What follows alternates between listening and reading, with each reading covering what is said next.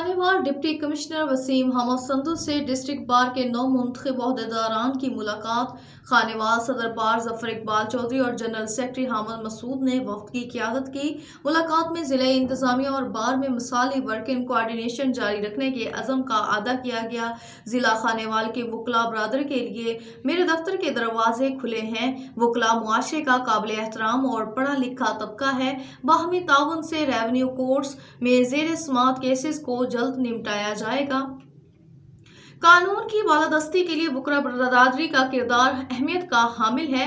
वकला वफ्त की जानब से जिला कचहरी में इंतजामिया से मुतलक मामूलत में बेहतरी की तजावीज़ भी दी गई। डिप्टी कमिश्नर की निशानदही करदा अमूर को जल्द हल करने की यकीन दहानी करवाई गई और एडिशनल डिप्टी कमिश्नर रेवन्यू उजवा अजीम भी इस मौके पर मौजूद थी।